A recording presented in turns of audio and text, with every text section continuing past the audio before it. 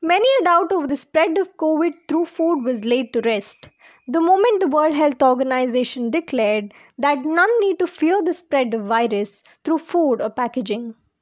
On August 27th, WHO's epidemiologist Maria Van Kerkhove said that despite China testing thousands of packages, less than 10 of them had traces of virus and concluded that there is no conclusive evidence to prove that COVID spreads through food.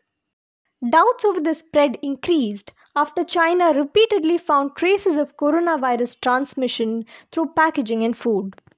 It was reported that the traces of the virus were found on imported chicken wings that came from Brazil, and this prompted China to suspend imports of frozen meat and seafood from corona hit areas. However, a nationwide move was not undertaken considering the increased dependence of the Chinese population on meat. It is to be noted that the first cluster of COVID cases were reported from Wuhan's Huanan seafood market. It was suspected that the infection spread through meat products that were on sale in the market.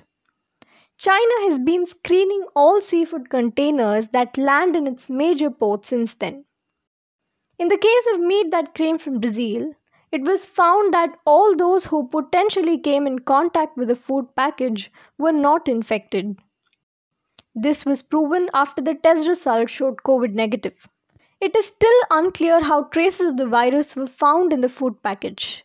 It is also not clear whether the traces detected on the packaging of frozen foods were infectious viruses. The Brazilian company has also come out to say that they had taken all precautionary measures to prevent the spread of COVID.